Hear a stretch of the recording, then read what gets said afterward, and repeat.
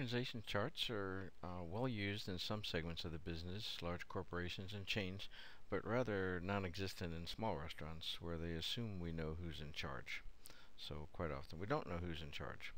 The chart uh, shows who works for whom. If I'm new to the operation, I should be able to look at the organization chart and see who I report to. So if I see a problem or have an issue to discuss, I know where to go without breaking the chain of command. The organizational chart clarifies the informal structure.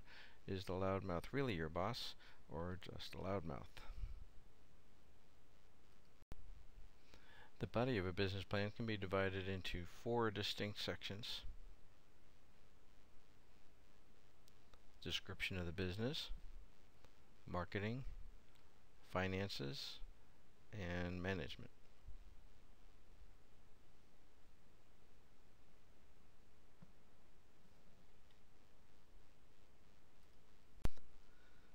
The feasibility study is basically, is it feasible? Is it possible that this business will work and why would it work? So uh, determining the characteristics of the area you plan to build a restaurant in would be included in a feasibility study. It's important to do a feasibility study because special tax breaks may be applicable to a restaurant in that area, among other things. So if it's a developing area, uh, for new businesses, they may give tax breaks for 10 years, 20 years in order to entice people to come down there.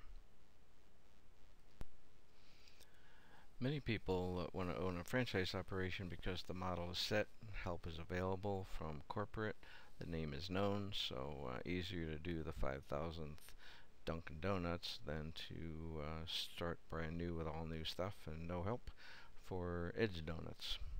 So uh, that's why it's uh, appealing to people to, um, and maybe lazy, I don't know, um, to get a franchise rather than start your own new something.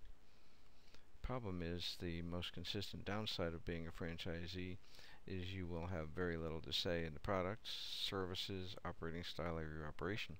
Why do we like McDonald's? Because you go into McDonald's in Peoria, it looks the same and tastes the same as a as a McDonald's in Hawaii and so that's the problem. So that people in Hawaii can't decide to just do it differently. They have to do it the corporate way. Today's labor market is faced with many troubles such as the availability of high caliber employees well trained well educated high turnover rates people don't stay very long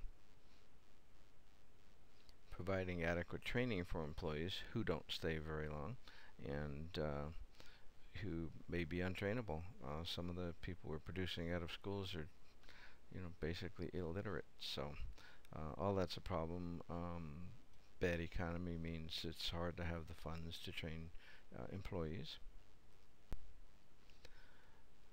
Job specifications, which uh, lists exactly what do you need to know, be, and do to uh, do a specific job. They're helpful in creating help wanted ads, which provide the ideal characteristics for a position. So if you're hiring a, a um, fry cook, you want to put in there that you're hiring a fry cook, so somebody who has done that before would know to apply. They're helpful in interviewing candidates so you can pinpoint uh, directed and focused questions about all aspects of the job responsibilities because you ask questions based on the job specifications and in determining salaries, which establishes the value of the intended position to the establishment. So the job spec says you have to have a uh, degree in accounting or says you need two years experience in accounting. Uh, it helps you to determine how much you should pay for that position. During the interview, acceptable potential topics of discussion would include salary needs, how much money do you need to, uh, to get you here in our operation, what's your work history, where have you been, what have you done, uh, what's your experience, uh, what can you do relative to the job uh, requirements, what are your personal goals, where would you like to be in five years, and your work ethic. So how excited are you to show up for work and to do a great job.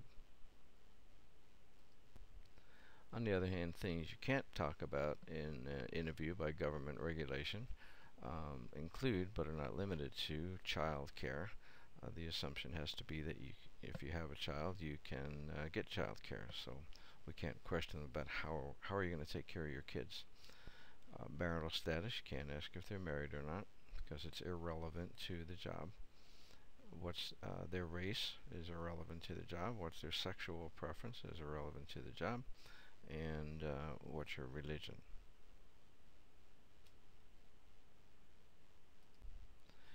Employee has a continuing history of poor performance over multiple reporting periods. It's time for the next review. Based on that, what action should you take? Terminate them. When you uh, get these questions on the test, think about um, what are they trying to tell you. So here they're trying to tell you it's been happening for a long time, multiple reporting periods, hasn't changed. Time to say hasta la vista baby, bye bye.